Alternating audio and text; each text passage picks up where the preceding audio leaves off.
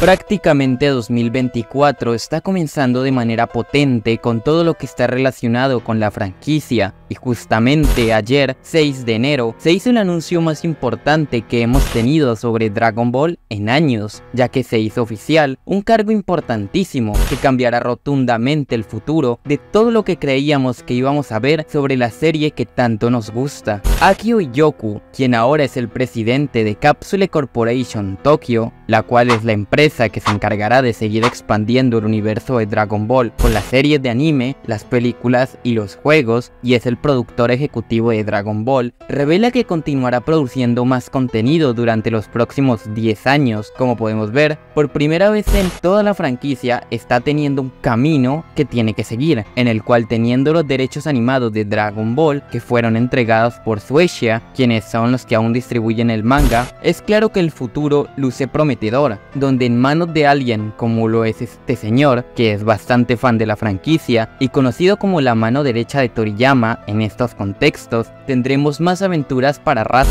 Si bien estas son buenas noticias para todos, nos he de surgir algunos interrogantes sobre qué clase de contenido vendrá o si está pronto el regreso del anime de Dragon Ball Super y sus nuevas sagas, pues aquí les relataré los artículos que dejó el señor Akio Yoku sobre sus planes con todo Dragon Ball y el futuro que quiere construir para los fans.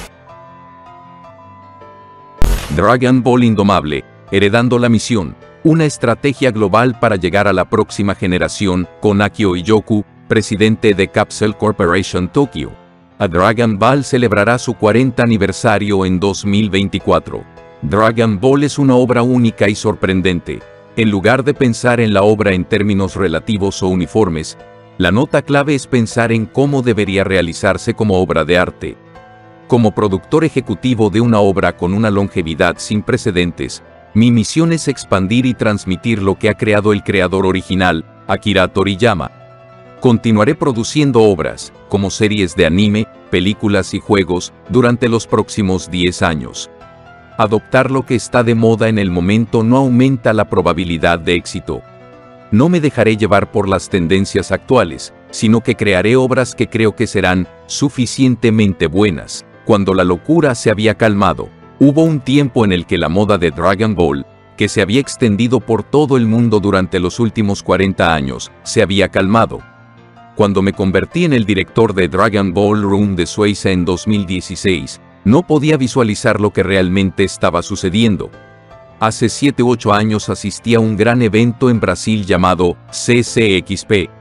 Me dijeron que el anime japonés era popular en Sudamérica, pero había una discrepancia con lo que me dijeron. La respuesta de los fans fue débil. Es posible que haya estado en la cima de su popularidad cuando estuvo al aire en Sudamérica.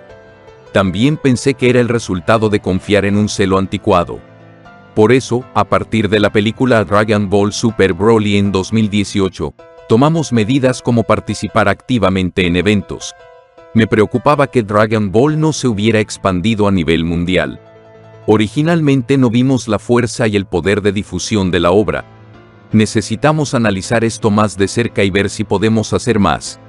No buscamos un enfoque único para todos, sino eventos como el Campeonato Mundial de Dragon Ball, la expansión de juegos, la creación de instalaciones y cualquier otra cosa que podamos hacer trabajaremos en ellos en paralelo.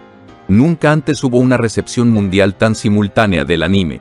Se puede decir que ahora somos capaces de hacer cosas que antes ni siquiera nos habíamos planteado. Desde el principio comencé a pensar en la expansión internacional de Dragon Ball. Con a Dragon Ball Daima, que se estrenara en el otoño de 2024, asumimos el desafío de crear una serie de anime con una historia completamente original me alegra que todos nuestros trabajos hayan sido bien recibidos en el extranjero. Daima fue anunciada en la Comic Con de Nueva York. La serie Dragon Ball es reconocida en todo el mundo.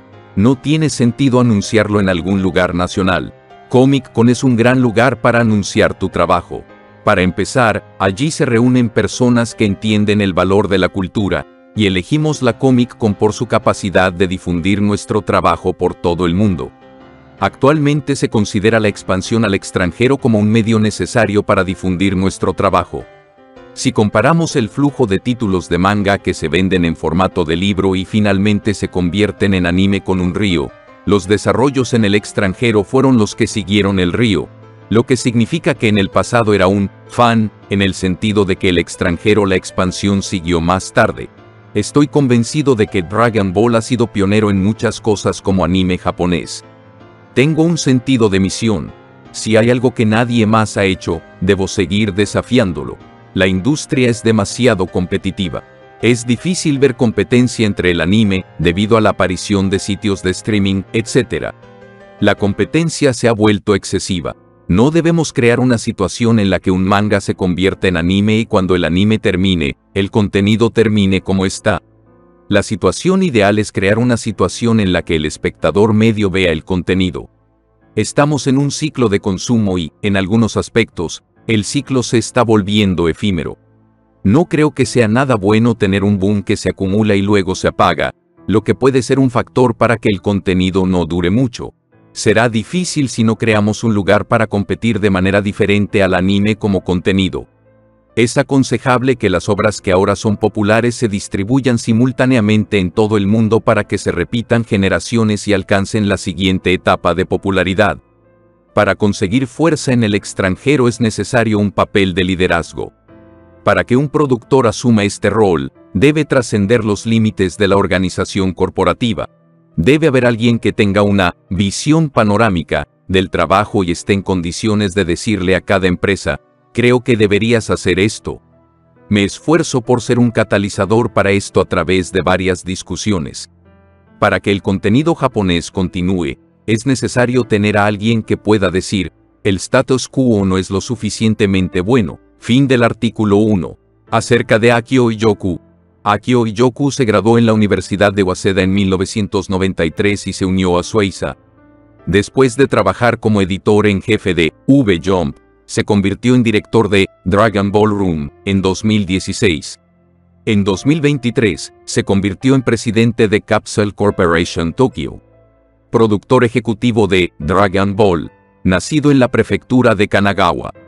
Como podemos ver, es un artículo claro, donde la preocupación es perder aquel lazo de popularidad que tiene Dragon Ball, y como mueve masas gigantes internacionalmente, la idea es crear contenido para que no haya esperas grandes para ver proyectos sobre la franquicia, y para cerrar, quiero sin hincapié a su idea sobre el anime. La pregunta es, si volverá Dragon Ball Super? Partiendo de sus declaraciones, la idea recae en no repetir lo que ocurrió en 2018, al alcanzar un pic de popularidad alta, y como la historia se había acabado, pues no seguir esa línea sería apagarlo todo. Yo y lo que muchos asumimos es que el regreso del anime es inminente, pero claramente no será lo único que tendremos de Dragon Ball, pues será como un pastel de proyectos que harán que todo sea un añadido para salir del statu quo y no hacer las cosas tradicionalmente. ¿Y qué opinas de todo esto? Sinceramente es momento de celebrar que la franquicia animada se encuentre en buenas manos y que el futuro luce prometedor.